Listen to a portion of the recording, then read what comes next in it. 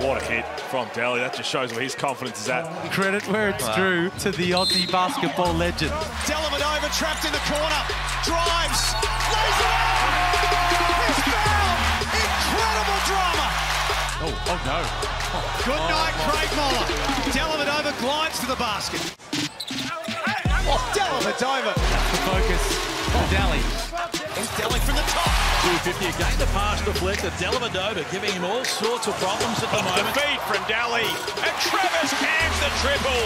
That's beautiful. The vision, the awareness. Here's Dellavedova. Hot shot gets it done and ball for the foul. Longer. Dellavedova, the offensive rebound and the floater. Dellavedova getting busy on Scott. Scores. Dellavedova's got two on the clock to get busy. And get busy he does. Impressive style.